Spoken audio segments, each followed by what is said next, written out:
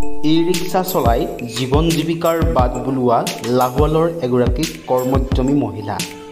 হাত সাৱটি বহি নাথাকি স্বনিয়োজনৰ বাট মুকলি কৰা মধুস্মিতা।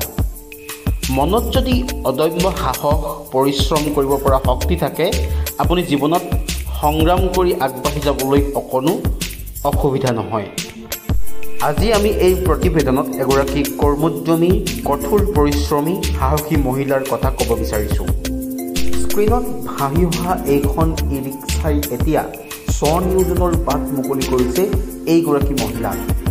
চাকৰি চাকৰি বুলি হাবাথুৰি নাখাই হাত সাৱটি বহি নাথাকি ই ৰিক্সা চলাই পৰিয়াল পোহপাল দিছে লাহোৱালৰ মধুস্মিতাই।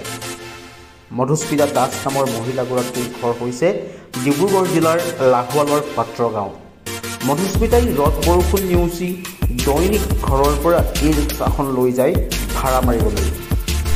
লাহোৱালৰ উপকণ্ঠ অঞ্চলত এনেদৰে এতিয়া চলাচল কৰে মধুস্মিতাৰ ই ৰিক্সাখন।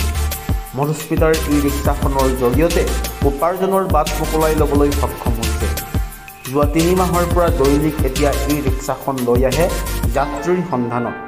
দৈনিক গড়ে ছশৰ পৰা এহেজাৰ টকা পৰ্যন্ত উপাৰ্জন কৰে নিজ লাহোৱাল পাত্ৰ গাঁৱৰ মধুস্মিতা দাসে যি সময়ত অসমৰ নিবনুৱা সমস্যাই দেখা দিছে সেই সময়তে মধুস্মিতা দাসে এনেদৰে স্বাৱলম্বী হোৱাৰ পদক্ষেপে এতিয়া আশাৰ সঞ্চাৰ কৰিছে পৰিয়ালটোক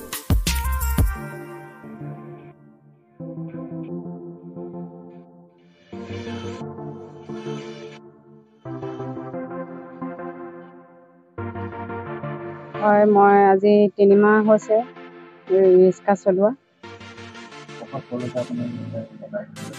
মই লাহোৱাল পলিটেকনিকেলৰ আপোনাৰ বকুলৰ পৰা পলিটেকনিক হৈ নগাগৰিলৈকে চলাওঁ। ভালেই পাইছোঁ মই আজি মই নিজকে এখন ই ৰিক্সা চলাই নিজকে স্বাৱলম্বী হৈছোঁ বুলি নিজে অনুভৱ কৰিছোঁ। কাৰণ আনৰ মানে হাজবেণ্ডৰ ওপৰত হ'লেও বা আনৰ ওপৰত হ'লেও মই ভৰসা কৰি মানে থকা নাই নিজে আগবাঢ়ি আহিছোঁ দুটকা ইনকম কৰিবলৈ। আজি নিজৰ কমনি বুলি নিজকে গৌৰৱ কৰিব পাৰিছোঁ। মোৰ দৰে অন্য মহিলাবিলাকো আগবাঢ়ি আহিব লাগে নিজকে স্বাৱলম্বী কৰিবলৈ। মানে ভয় আৰু লাজ লাজৰ কথা নহয় নিজৰ মনৰ ওপৰত কথা মই এইটো কৰিম আগবাঢ়ি আহিব লাগে।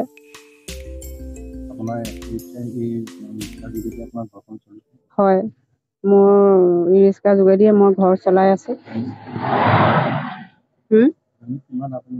দৈনিক আপোনাৰ সাতশ আঠশ থাকে প্ৰায়।